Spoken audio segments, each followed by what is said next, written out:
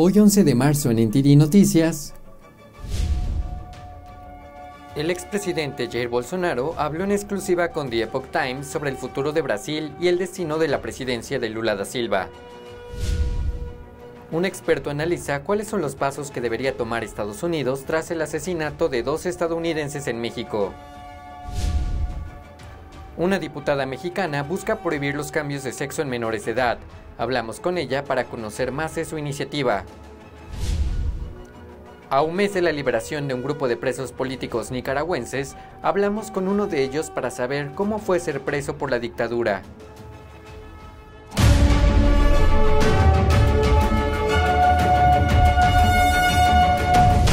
Buenas noches, les saluda Eduardo Zompa. Brasil está permitiendo que buques de guerra iraníes atraquen en Río de Janeiro. ¿Cómo afecta esto a Estados Unidos? Escuchamos a un experto y al expresidente de Brasil, Jair Bolsonaro. El gobierno brasileño dio autorización al régimen iraní para que dos de sus buques de guerra atraquen en Río de Janeiro. Los autorizaron en enero, el primer mes de la presidencia de Lula da Silva. Brasil históricamente es cercano a Israel, un adversario de Irán. El portavoz del Ministerio de Asuntos Exteriores de Israel condenó la decisión de Brasil escribiendo, el régimen iraní ejecutó decenas de ataques terroristas contra buques, poniendo en peligro la libertad de navegación marítima. El expresidente brasileño Jair Bolsonaro habló sobre los buques en una entrevista exclusiva con nuestro medio asociado The Epoch Times. Bolsonaro dice que el nuevo liderazgo de Brasil está fortaleciendo los lazos con los regímenes de izquierda. Creo que irá más hacia el lado de prestar atención a América del Sur, Venezuela, Argentina, y también va a seguir acercándose a países como Irán, Corea del Norte, ese tipo. Ambos barcos están vinculados a la Marina de la Guardia Revolucionaria Islámica, entidad designada como terrorista por Estados Unidos. El Departamento de Estado estadounidense advirtió en otras ocasiones sobre la presencia de Irán en el hemisferio occidental. Hablamos con Marcos Chodges, el editor en jefe de The Epoch Times en Brasil. Según él, los buques iraníes forman parte de la estrategia del régimen para debilitar a Estados Unidos. La Marina iraní ha estado hablando mucho de proyectar poder en el extranjero, proyectar poder en Estados Unidos y en el extranjero, en América Latina, controlar más rutas marítimas, mostrar su cara al mundo. Eso forma parte de su esfuerzo más amplio. Agregó que el momento es importante. Según los informes, Irán está aumentando su producción nuclear, las tensiones entre China y Taiwán van en aumento y Estados Unidos sigue financiando a Ucrania contra la invasión rusa. Brasil forma parte del BRICS, que incluye a Brasil, Rusia, China, India y Sudáfrica, y ahora se habla de Irán y Arabia Saudita, curiosamente, incluso de Argentina como parte del BRICS. Entonces, quizá estamos viendo a Rusia y China aprovechando su poder en el escenario internacional, tratando de fortalecer un bloque que está en contra de los intereses de Estados Unidos. Sin embargo, incluso con Brasil siendo parte del BRICS, el expresidente Bolsonaro dijo, Si yo fuera presidente, esos barcos no estarían allí. Se reporta que el gobierno de Lula dijo que fue una decisión soberana dejar atracar los barcos y que Irán no es un enemigo de Brasil. La entrevista completa con el expresidente Bolsonaro está disponible en Epoch TV. Para verla, puedes visitar epochtv.com diagonal ES. En la entrevista con The Epoch Times, Bolsonaro también se refirió a sus planes para cuando vuelva a Brasil y cuál cree que sea el destino de la presidencia de Lula da Silva. El expresidente Jair Bolsonaro dio una entrevista exclusiva con The Epoch Times durante la CIPAC que tuvo lugar en Washington, D.C. el fin de semana.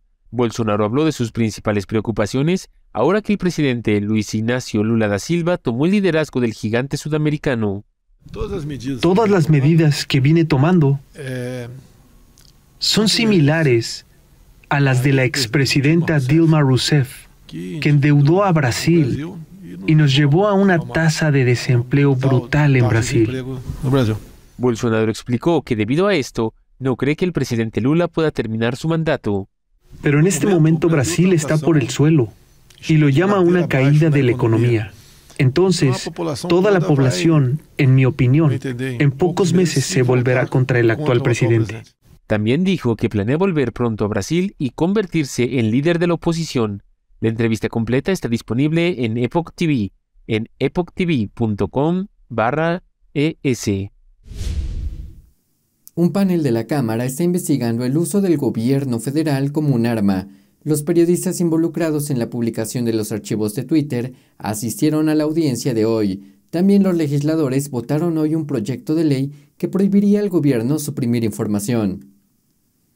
El subcomité de la Cámara de Representantes sobre el uso del gobierno federal como un arma invitó a los periodistas involucrados en la publicación de los llamados archivos de Twitter, Matt Taibbi y Michael Schellenberger, a testificar.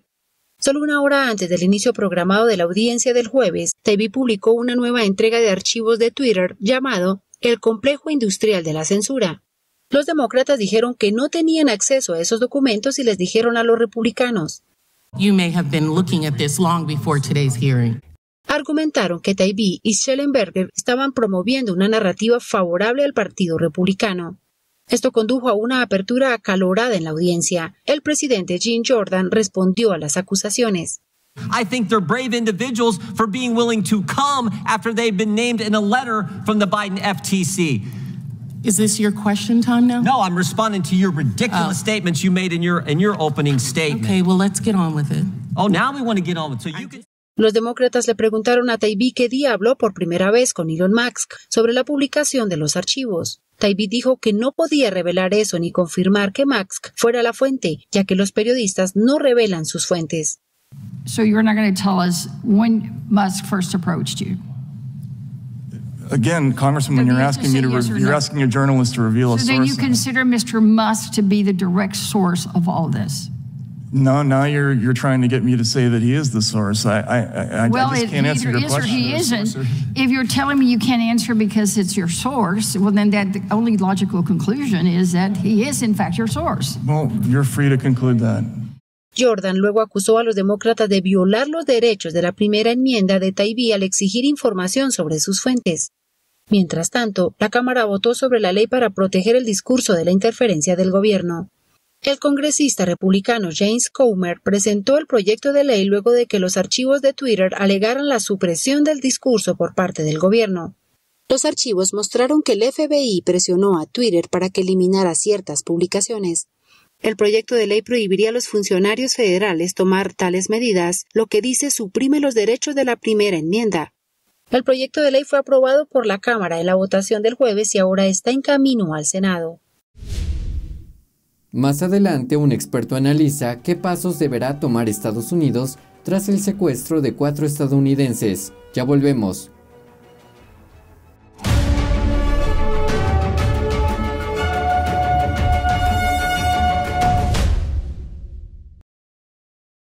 Creo que informarse de verdad es más que solo conocer los hechos, es investigar, es buscar la verdad para ser libre.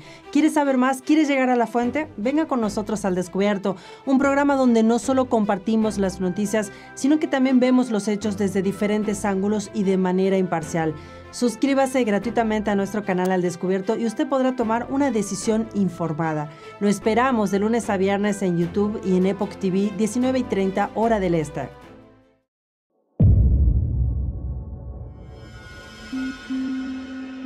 Noticed that after the outbreak, the Wuhan Institute of Virology kept strangely quiet. Who is the real boss of the P4 laboratory? What was the Chinese Communist Party trying to hide?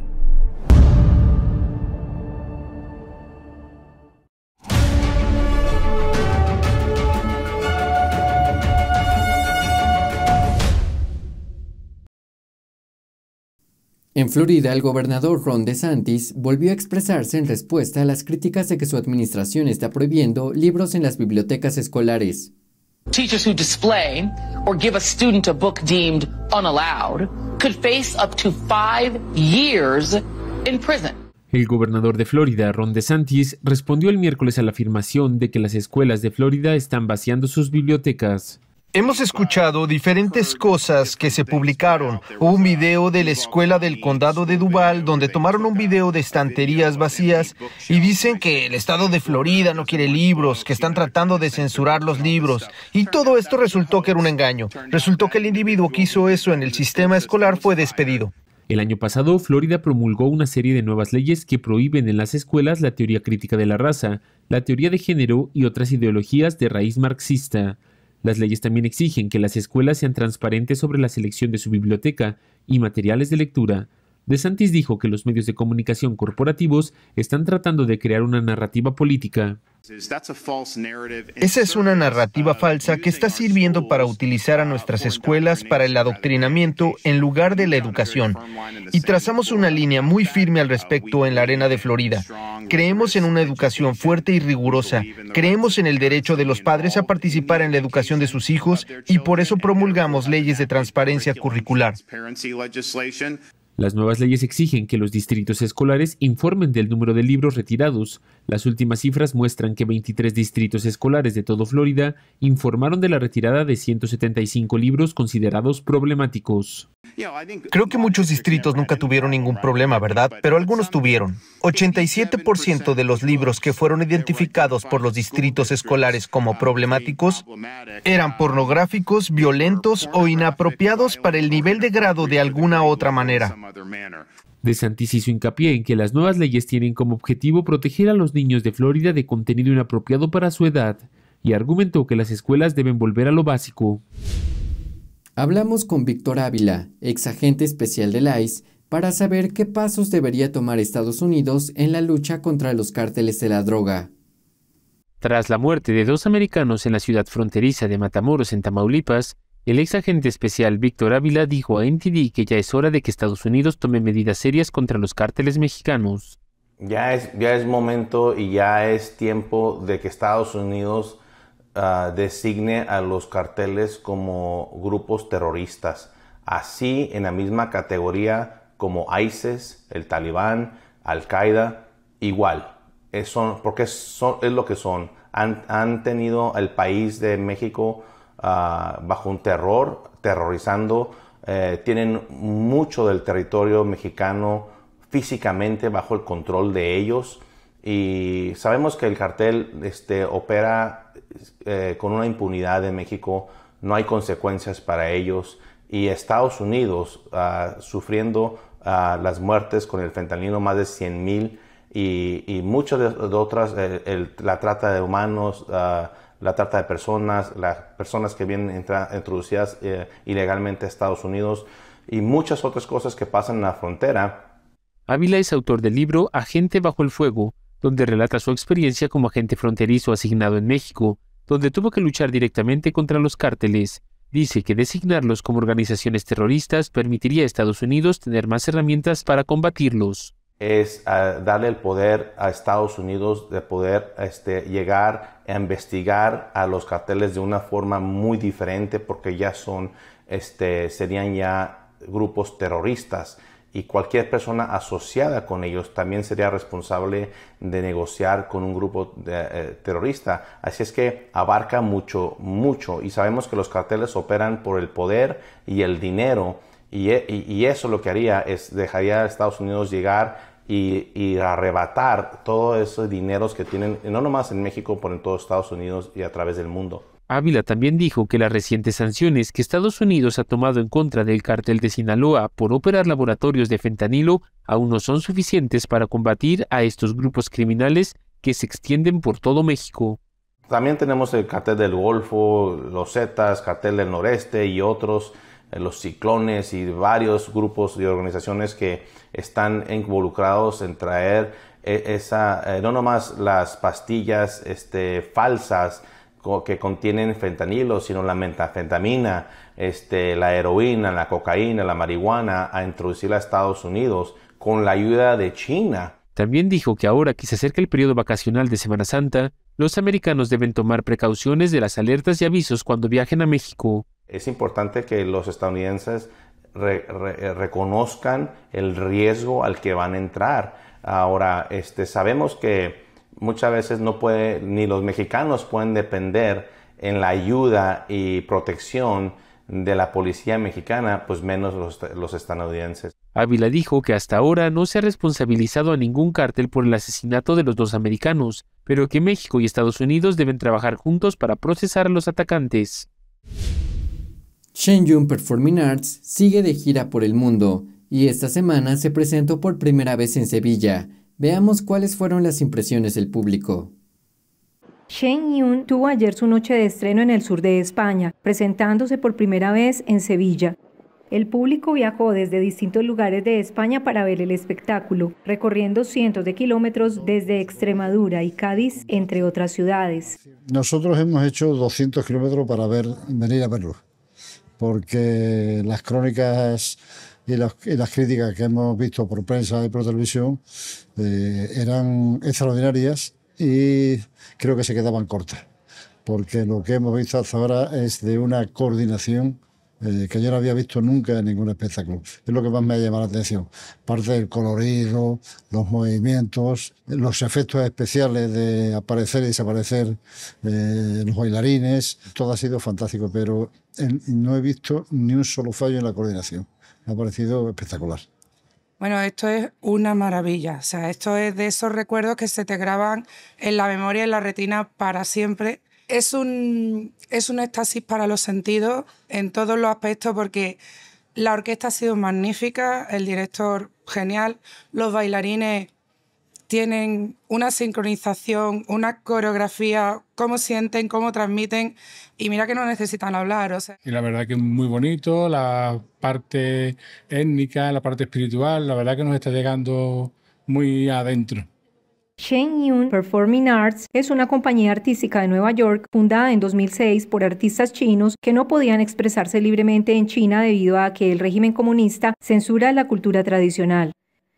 Las tradiciones chinas tienen sus raíces en el budismo y el taoísmo, por lo que tienen un fuerte contenido espiritual.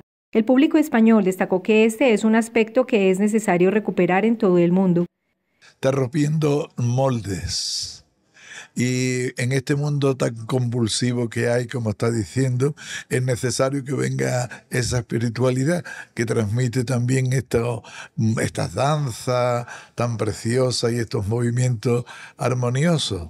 Entonces está bien que una cultura que tiene 5.000 años de antigüedad eh, recobre toda su plenitud, todo su esplendor, todo su colorido y contraste con la cierta oscuridad y el cierto color gris de un régimen como el que hay en este momento en China. Shen Yun estará hasta el 9 de marzo en el Cartuja Center City de Sevilla. Luego seguirá su gira europea por República Checa. Al mismo tiempo, otras de sus ocho compañías que están de gira en simultáneo estarán presentándose en Florida, California y Taiwán. Y no se lo pierdan porque espectáculos así, la verdad es que no se ven todos los días y es un privilegio y un lujo poderlo disfrutar. NTD Noticias, Sevilla, España. Una diputada mexicana busca prohibir las cirugías de cambio de sexo en menores de edad. Entérese después de esta pausa comercial.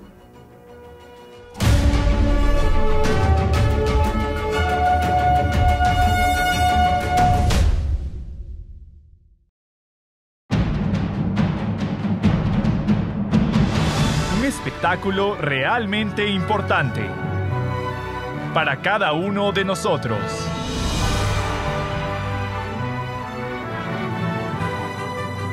Esto es lo que ha estado esperando.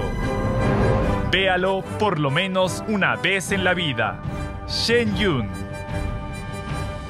Cada año un espectáculo completamente nuevo. Los expertos dicen que lo que pasa en China termina pasando en el resto del mundo. Pero ¿qué pasa en China realmente? Pocos se animan a contarlo. Censura y ocultamiento, persecución de creencias, vigilancia extrema y crédito social. Mírelo antes en China en Foco y entérese de primera mano de noticias que le gustaría saber antes que nadie. Mírenos en YouTube y en Epoch TV del Epoch Times en español, de lunes a viernes a las 7 de la tarde, hora del este.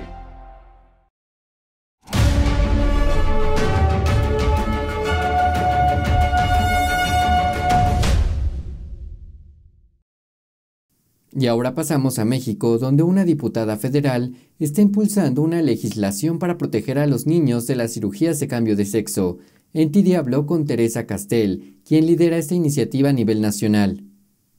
La diputada federal de México, Teresa Castel de Oro Palacios, presentará una iniciativa para prohibir los procedimientos de reasignación de sexo en menores de 18 años. El proyecto también sanciona a todo adulto que influencia a los niños con alguna preferencia de género.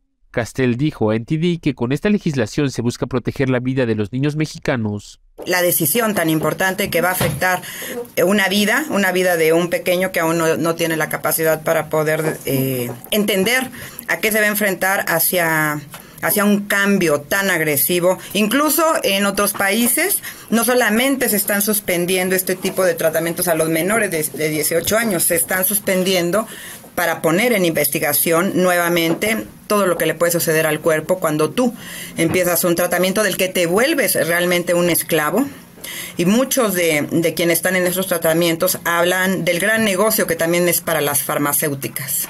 Castel también explicó algunas de las conductas que podrían considerarse como sancionables. Es saber si alguien está influenciando a un chiquito a vestirse como mujer y o a tener actitudes de niño cuando es una niña, o si algún eh, alguien en, el ambiente familiar tiene alguna preferencia y esto esté ocasionando que el menor esté eh, cambiando, cambiando sus preferencias de manera inducida. Con relación a las sanciones que se aplicarán, Castel propone de 9 a 18 años de prisión para quien induzca en las preferencias de un menor con o sin su consentimiento, y cuando el delito provoque daños irreversibles por mutilación o tratamientos médicos, la pena se incrementará en dos terceras partes de la prevista. La legislación contempla solamente a padres y tutores que tengan la custodia del menor. Castel señaló que una forma de comprobar este delito sería a través de la evaluación de profesionales. En cuanto a la legalidad del proyecto, la diputada federal dijo que aunque la Constitución mexicana protege a las infancias trans, su iniciativa busca delimitar los derechos y obligaciones de estos niños. A mí me dice un pequeño o mi pequeña que tiene inclinaciones hacia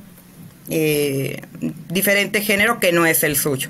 Ese puede ser un proceso dentro de la niñez y el 80% de estos pequeños, su disforia desaparece.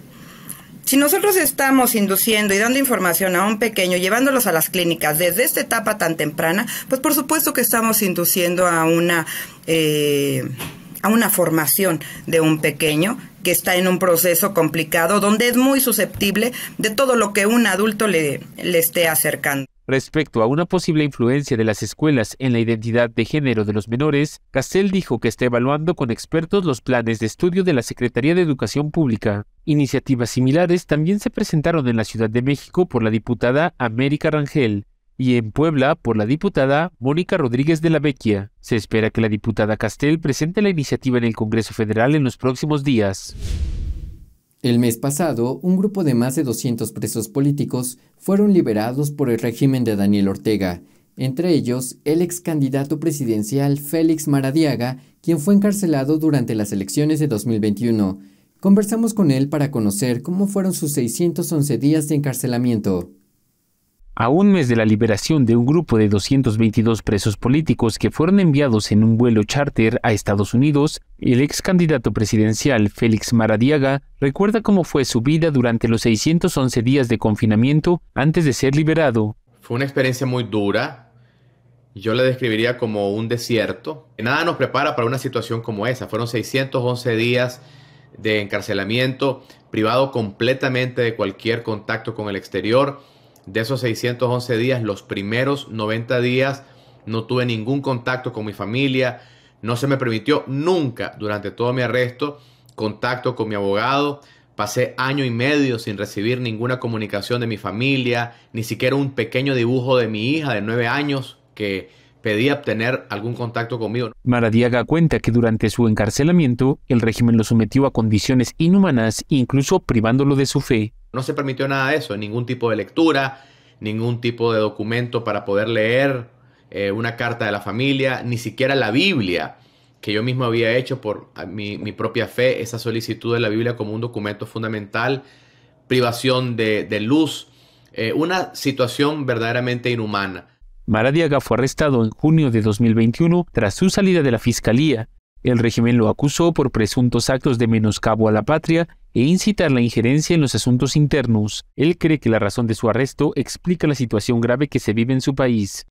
Es un testimonio de que Ortega no puede ganar elecciones libres. Es decir, el mismo hecho que nos arrestó a todos y posteriormente también a otras personas que incluso no estaban directamente involucrados en el proceso electoral, El líder opositor dice que autoridades de Estados Unidos le han asegurado que no hubo ningún tipo de negociación con el régimen por su liberación y la del resto de presos políticos, pero cree que el régimen los liberó para aliviar la presión internacional y el costo político. Esta captura que había hecho no solamente de los eh, ex candidatos y candidatas, sino también de líderes de sociedad civil, líderes estudiantiles, ciudadanos eh, de diversas áreas eh, de la sociedad, se había convertido en un tema de mucha gestión internacional y de mucha atención. Respecto a los 37 presos políticos que aún quedan en Nicaragua, Maradiaga dice que desconoce la situación actual en la que se encuentran, pero para él, una de sus prioridades es seguir abogando por su liberación.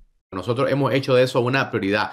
Cuando digo nosotros me refiero a los liderazgos que estamos en este momento en el exilio y que reconocemos como una de las prioridades fundamentales la liberación de los presos políticos que están en Nicaragua, no solo de Monseñor Álvarez, de los presos políticos que están en Nicaragua, y la reunificación familiar de aquellas personas que aún quedaron en Nicaragua y cuyos familiares están aquí en Estados Unidos.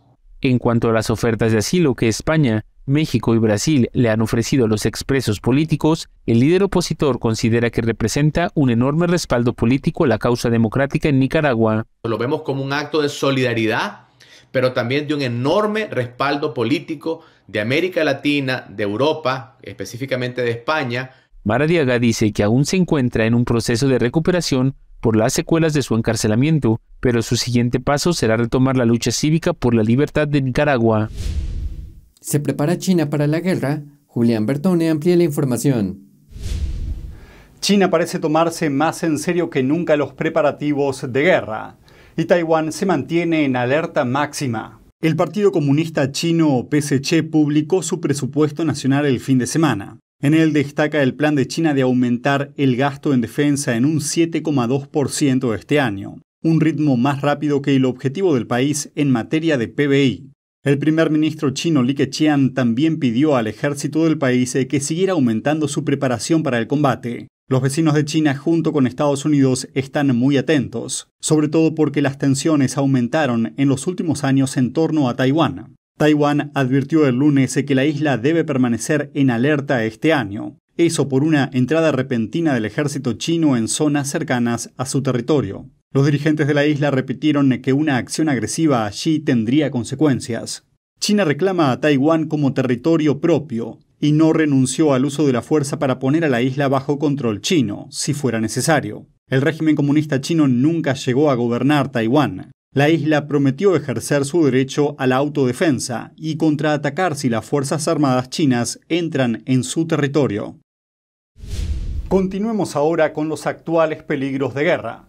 Mientras Taiwán se dedica a comprar armas a Estados Unidos y a ampliar su servicio militar obligatorio, China se niega a quedarse de brazos cruzados. La ciudad china de Xiamen lanzó una aplicación para teléfonos móviles a principios de esta semana. Se llama Plataforma de Navegación de Defensa Aérea Civil y sirve para ayudar a los habitantes a reaccionar en tiempos de guerra. Debido a su ubicación, Xiamen podría ser una de las primeras ciudades chinas en verse involucrada en una guerra con Taiwán si estallara el conflicto. Esto se debe a su proximidad a Taiwán. Está tan cerca que una isla perteneciente a Taiwán es visible desde la costa de la ciudad. En caso de guerra, la aplicación funcionaría así. En primer lugar, se convierte en un sistema de notificación de alerta temprana completa con una luz intermitente.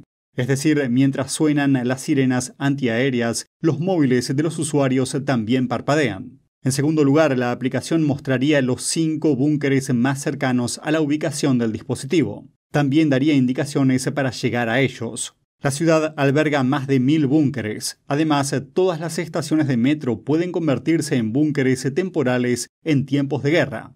Según los medios locales, la aplicación no utiliza el sistema de navegación estadounidense GPS, sino el sistema de navegación chino llamado Beidou. Se llama Sistema de Posicionamiento Beidou y China intenta sustituir al GPS por él. Gracias por acompañarnos en nuestro resumen semanal. Los invitamos a apoyar nuestra búsqueda de la verdad, haciendo una donación en el enlace que está en la descripción. Muy buenas noches y juntos hagamos que la verdad salga a la luz.